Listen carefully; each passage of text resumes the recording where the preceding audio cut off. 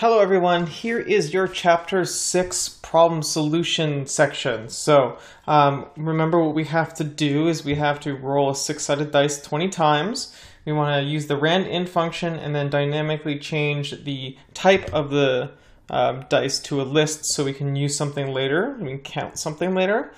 Uh, we then um, create a dice that we want to be our trick dice and we wanted to only uh, land on uh, five or six. And this is like, we want to see if we can prove that this is significantly different uh, than the regular dice rolling it 20 times.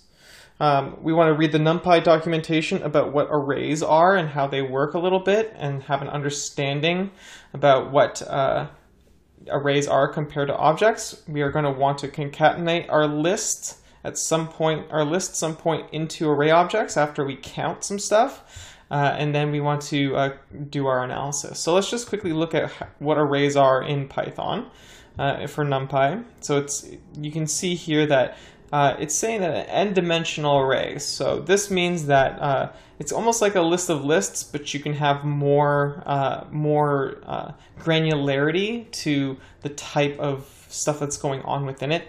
Uh, you have different array methods that you that you don't have with lists in uh, you know base Python.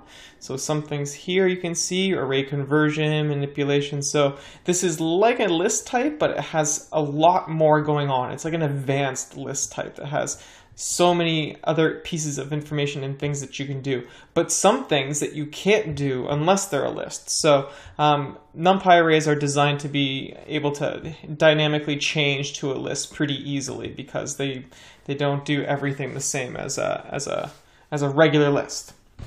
So um, remember our first task is that we wanted to use the randint function to roll a regular six-sided dice 20 times and then convert it into a list. So here is our function for, well, first off, we have to run load our packages. We're going to be using the stats package, obviously, and NumPy that I'm, you know, shortening to NP.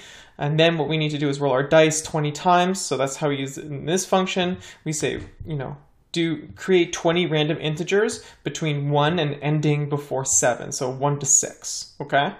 And then our trick, I'm calling this dice 1, or D1. Our trick dice, it, we're having only run uh, land on 5 or 6 because it's got some funny weighting in it, but also needs to be rolled 20 times because we want an equal sample size. I then create some uh, empty variables, uh, empty lists, because I want to count the amount of times D1 landed on 1 versus 2 versus 3 versus 4 and so on. So how I do that, and I create another one for dice 2. And then what I do is I count each roll by just going through the numbers 1 to 6 and asking our list how uh, you know how many times did you see the number one? How many times did you see the number two? And that dot count uh, function will go through the entire list and summarize the amount of times any specific value occurred. So in this case i ask it you know starting at one and going all the way up to six how many times did one show up in d1 and append the the, the total count to our dice one um, list. So this is going from 1 to 6 in an ordered or or in order. And I do it for dice 2 as well. You gotta be careful, you got dice D2 and dice 2 here. So the method is exactly the same, except we wanted to do it on another uh, another thing, or another another list, which was our trick dice. I then say, hey, let's concatenate our list into an array, uh, NumPy array object. And the reason for that in this case is because our chi-square test accepts an array object. It doesn't accept a list. So we need to convert uh, our data into that. And we also need to concatenate our two uh, our two lists together to form a list of lists, which is a two-dimensional uh, NumPy array. Okay.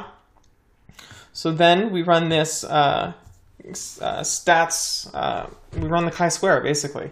Uh, we have our concatenated dice, which is two lists, a list of lists, or a, you know, an embedded NumPy array. You can think of it as a list of lists. And we, uh, when we run our chi-square uh, independent analysis, we get our chi-square value, our p-value. This is called degrees of freedom.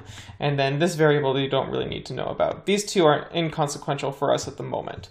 Uh, and we just wanted to know if, the, if this was uh, statistically significant. So if we print this, that should tell us. Okay, so what this number means, guys, is that it, it's uh, we have this number five point five three five zero two so on and so forth, but it's uh, followed by uh, it, it, has four uh, leading zeros. So this actually means it's zero